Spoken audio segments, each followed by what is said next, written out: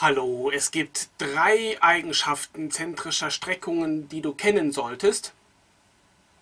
Zwei haben wir schon an Strecken gesehen und äh, die erwähne ich gleich. Ich fasse die drei Eigenschaften gleich zusammen, aber eine Eigenschaft fehlt uns noch und die hat mit Winkeln zu tun.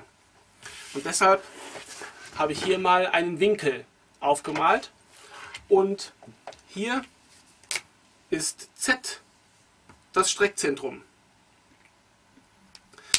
Wenn ähm, dieser Winkel jetzt gestreckt wird, dann können wir das machen wie beim Strecken von Strecken. Ja, das ist ja fast ein Zungenbrecher. Ich finde den gut mit den schleimigen Schleimschnecken. Wenn, äh, nee, wie geht das, wenn, Schle äh, wenn schleimige Schleim, nee, schleimige Schleimschnecken den kompletten Film und viele weitere findest du auf www.sofatutor.com. Über 7000 Lernvideos erklären dir, was du für gute Noten wissen musst. Tests überprüfen dein Wissen nach jedem Video.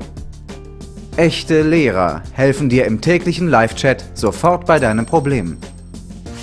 Du kannst außerdem Privatstunden bei deinem persönlichen Online-Tutor buchen, um tiefer in ein Thema einzutauchen. So helfen wir dir, deine Zensuren ohne großen Aufwand zu verbessern. Probiere es am besten sofort aus auf www.sofatutor.com.